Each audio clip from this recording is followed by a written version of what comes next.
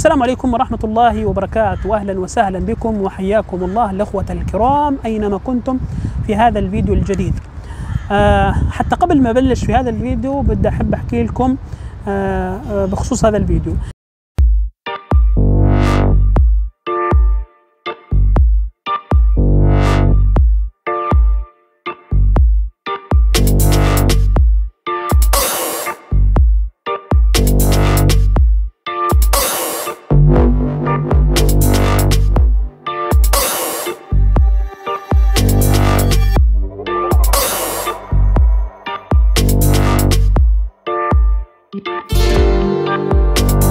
هذا الفيديو أنا ما راح أقدر لا أساعد حدا يتزوج ولا راح أقول لك إنه آه، كيف طريقة الزواج ولا كذا. الفيديو هذا خاص ناس للناس اللي ساكنين هنا في بيلاروسيا أو الناس اللي بدهم يعرفوا شو هي متطلبات الزواج في بيلاروسيا من ناحية قانونية شو الأوراق المطلوبة لهذا الموضوع. يعني ما حد يسألني يتصل فيني أو يكتب لي آه بدي أتزوج وفي كذا وكذا. هذا الشيء أنا ما بس ما أقدر أفيدك. فقط راح يكون في هذا الفيديو شو هي الأوراق المطلوبة للزواج والشروط وغير ذلك في هذا الموضوع. فنبدأ إن شاء الله بهذا الموضوع اللي هو الزواج في بيلاروسيا آه شو أهم الأوراق وأهم المتطلبات لهذا الموضوع؟ أهم الأوراق المطلوبة في بيلاروسيا أنه يكون جوازك السفر مترجم للغة الروسية ويكون مصدق ومن وزارة العدل البيلاروسية. هذا بالنسبة لجواز السفر. النقطة الثانية والأهم طبعا أنك أنت تكون مقيم داخل بيلاروسيا. يكون عندك أي إقامة سواء إقامة سياحية، إقامة طلابية، اقامه عمل أو أي إقامة من هاي الأمور. النقطة المهمة برضو الثالث إنه تكون أنت عندك عدم محكومية من البلد اللي انت منها لازم يكون عندك عدم محكوميه برضو تكون مترجمة للغة الروسية ومصدقة. والنقطة الرابعة إنه أنت تكون عندك كمان ورقة إنه أنت أعزب أو إنك غير متزوج في البلد اللي أنت موجود فيها. برضو تكون مترجمة ومصدقة للغة الروسية في بيلاروسيا.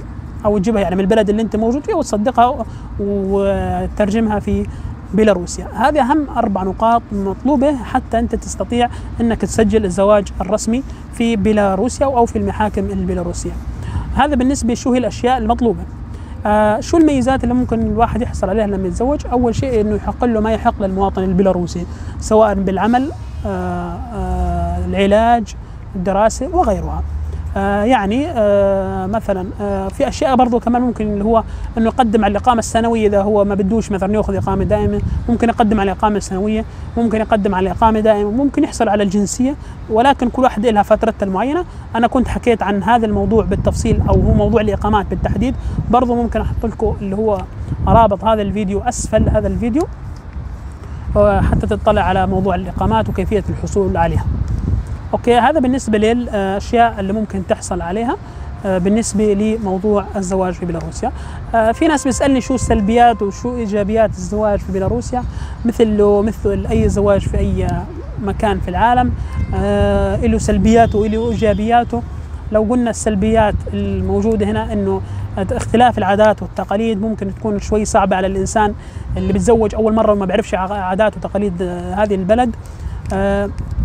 شو برضو كمان سلبيات تربية الأطفال لازم تكون مراعاة يعني بينك وبين الزوج يعني لازم أنت تكون يعني حاكي للموضوع للزوج إنه أنا مثلا بدي أربيه كذا وكذا وخاصة إذا زوجتك كانت مش مسلمة. آه شو إيجابيات الموضوع إنه هنا ما فيش آه موضوع اللي هو إنه آه تكاليف الزواج هنا تقريبا قليلة جدا أو شبه معدومة يعني مقارنة مع دول ثانية يعني سواء بالمهر سواء بموضوع البيوت السيارات وهي الأشياء.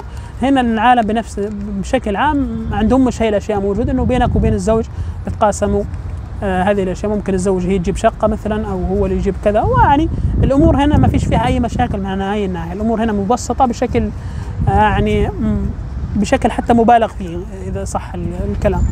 آه هذا بالنسبة لي السلبيات والإيجابيات في بيلاروسيا. بس هذا اللي حبيت أحكيه بالنسبة لموضوع الزواج في بيلاروس. واللي عنده أي سؤال أو استفسار برضه ممكن يرسل لي على الواتساب اللي ظاهر عندكم على الشاشة. ومثل ما قلت برجع بكرر ما حد يكتب لي إنه أنا بدي أتزوج أو بدي أبحث عن زوجة وكذا لأنه مش راح افيده لا من بعيد ولا من قريب. وشكرا لكم والسلام عليكم ورحمة الله وبركاته.